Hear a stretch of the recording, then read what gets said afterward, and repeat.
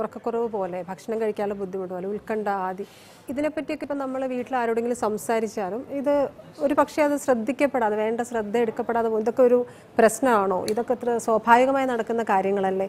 അങ്ങനെ ഒരു ധാരണ കുറേ ആളുകളിലെങ്കിലും നിലനിൽക്കുന്നുണ്ട്. അതിനൊരു ഡോക്ടറെ കാണണോ? ഒരു മനഃശാസ്ത്രജ്ഞനെ കാണേണ്ട ആവശ്യമുണ്ടോ എന്നൊരു ധാരണയുണ്ട്. അതിനെ അതിനോട് എന്താണ് ഡോക്ടർ പ്രതികരിക്കുന്നത്?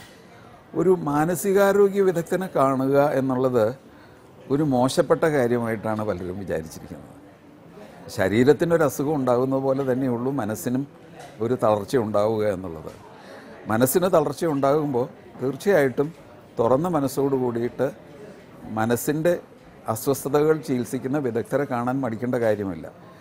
എന്തുകൊണ്ടാണ് വീടുകളിൽ ഒരു പക്ഷേ അകാരണമായിട്ടുള്ള ഒരു വിഷാദം കാണുന്നു അല്ലെങ്കിൽ ഉത്കണ്ഠ കാണുന്നു അല്ലെങ്കിൽ അതുപോലുള്ള കോപം കാണുന്നു എന്നൊക്കെ വരുന്ന സാഹചര്യങ്ങളിൽ എന്നാൽ നമുക്കൊരു മെന്റൽ ഹെൽത്ത് എക്സ്പെർട്ടിനെ കാണാം എന്ന് പറയുമ്പോഴേക്കും അവർ മുഖം തിരിക്കുന്നതിന് ഏ മെന്റൽ ഹെൽത്ത് എക്സ്പെർട്ടോ ഭ്രാന്തിന് ചികിത്സിക്കുകയോ എന്ന് പറഞ്ഞിട്ടുള്ള ഒരു ഒരു ഒരു തടസ്സവാദം ഉന്നയിക്കുന്നത് അതിനോടുള്ള കാഴ്ചപ്പാടിന്റെ ഒരു കുറവ് കൊണ്ടാണ്.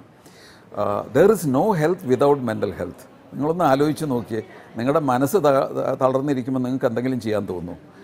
നിങ്ങളുടെ മനസ്സ് തളർന്നിരിക്കുകയാണെങ്കിൽ ഇപ്പോൾ ഹൃദ്രോഗം വരുന്ന ഒരാൾക്ക് മനസ്സ് തകർന്നിരിക്കുന്ന ഒരവസ്ഥയാണെങ്കിൽ ഹൃദ്രോഗത്തിന്റെ ഏറ്റവും മികച്ച ചികിത്സ ചെയ്തിട്ട് പോലും ഒരു പക്ഷേ ആ മാനസികാസ്വാസ്ഥ്യത്തിനെ പരിഹരിച്ചില്ലെങ്കിൽ ഒരു വർഷത്തിനകം വീണ്ടും ഹാർട്ട് അറ്റാക്ക് വരും. അപ്പോൾ എല്ലാ ശാരീരിക ആരോഗ്യങ്ങളിലും മനസ്സിന്റെ ആരോഗ്യം വളരെ പ്രധാനമാണ്. നമ്മുടെ ദൈനംദിന ജീവിതം നന്നായി പോകണമെങ്കിലും മനസ്സിന് സ്വാസ്ഥ്യമുണ്ടാകണം വെൽബീയിങ് ഉണ്ടാകണം അപ്പോൾ അതുകൊണ്ട് പരിധി വിടുന്ന മാനസികാസ്വാസ്ഥ്യങ്ങൾ ഉള്ളപ്പോൾ തീർച്ചയായിട്ടും ഒരു മാനസികാരോഗ്യ വിദഗ്ധനെ കാണുക എന്നുള്ളത് വളരെ അത്യാവശ്യമായിട്ടുള്ള കാര്യമാണ്. ഡോക്ടർ നമുക്കൊരു കോളറുണ്ട് ഹലോ? ഹലോ? വിനോദ് കേൾക്കാൻ സാധിക്കുന്നുണ്ടോ? പേര് വിനോദ് എന്നാണ്. കോഴിക്കോട് വിളിക്കുന്നത്. നാദാപുരത്ത് വളയത്ത് പറഞ്ഞോളൂ. സാറ് പിന്നെ എന്റെ പ്രശ്നം എന്ന് പറഞ്ഞാൽ ഒരു ട്രാൻസ്പ്ലാന്റേഷൻ കഴിഞ്ഞ് ഒരു പത്ത് കൊല്ലം കഴിഞ്ഞ അതിനുശേഷം കിഡ്നി ഫെയിലായി പക്ഷെ കഴിഞ്ഞ ഒരു രണ്ട് വർഷമായി എനിക്ക് ഭയങ്കര ഒരു സൂയിസൈഡ് അറ്റംപ്റ്റിന്റെ ഒരു ഫീലിംഗ് ഉണ്ടായിരുന്നു. ഇത് മാറുന്നില്ല. ഇങ്ങനെ പറഞ്ഞു കഴിഞ്ഞാൽ സൂയിസൈഡിലേക്ക് പോകണം പോകണം എന്നുള്ള ഒരു തോന്നൽ വരുന്നു. അതിനെന്താണ് അതിന്റെ പ്രതിവിധി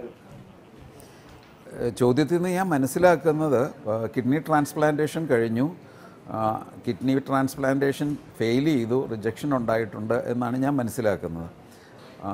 പല ആളുകൾക്കും അത് തന്നെ ഒരു ഒരു മനസ്സിന് ബുദ്ധിമുട്ടുണ്ടാക്കുന്ന ഒരവസ്ഥയാണ് കാരണം പെട്ടെന്ന് നമ്മൾ പ്രതീക്ഷയോട് കൂടിയിട്ട് ട്രാൻസ്പ്ലാന്റൊക്കെ ചെയ്തിട്ട് പെട്ടെന്ന് അത് ഫെയിൽ ചെയ്യുമ്പം പലർക്കും വിഷാദങ്ങൾ വരാറുണ്ട്. ഫെയിൽ ട്രാൻസ്പ്ലാന്റ് എന്ന് പറയുന്നത് ഇപ്പോൾ വൃക്കരോഗ വിദഗ്ധന്റെ അടുത്തൊക്കെ കൺസൾട്ട് ചെയ്ത് കഴിഞ്ഞാൽ അതിന് പരിഹാരം ഉണ്ടാകും.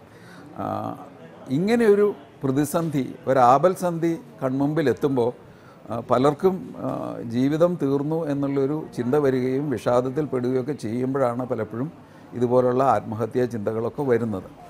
തീർച്ചയായിട്ടും ഈ ആത്മഹത്യാ ചിന്ത ഉണ്ട് എന്നുള്ള ഒരൊറ്റ കാരണം കൊണ്ട് തന്നെ ഇത് ഒരു മാനസികാരോഗ്യ വിദഗ്ധന്റെ ശ്രദ്ധയിൽപ്പെടേണ്ട കാര്യം തന്നെയാണ്.